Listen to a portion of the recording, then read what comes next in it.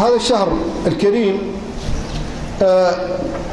خصه الله بأنه يفتح فيه أبواب السماوات لاستجابة الدعاء. فكثير من الأدعية تصعد من الأرض ولكنها لا تصل إلى الله لأنها تجد أبواب السماء موصدة فيردها ذلك إلى الأرض. لكن هذا الشهر يفتح الله فيه أبواب السماوات لاستقبال الدعوات.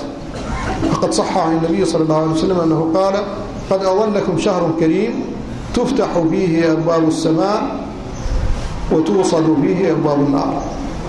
فأبواب السماء تفتح لاستجابة الدعوات. كذلك تفتح فيه أبواب الجنة. فالجنة لها ثمانية أبواب وكل خير في الأرض فهو قادم من الجنة. وكل شر في الأرض فهو قادم من النار. الأمراض كلها التي يشكو منها الناس في الأرض هي من النار. الحر الشديد الذي يشكو منه الناس في الصيف هو من أنفاس جهنم. البرد الشديد الذي يشكو منه الناس في الشتاء هو من نفس جهنم. صح عن النبي صلى الله عليه وسلم أنه قال اشتكت النار إلى ربها فقالت يا رب أكل بعضي بعضي.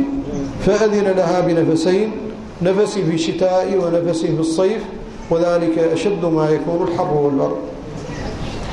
فهذا الحر الشديد والبرد الشديد منهما تأتي الأمراض والجراثيم والميكروبات والأضرار التي توجد في الأرض كلها قادمة من جهنم عائدا بالله. كل شر مصدره جهنم.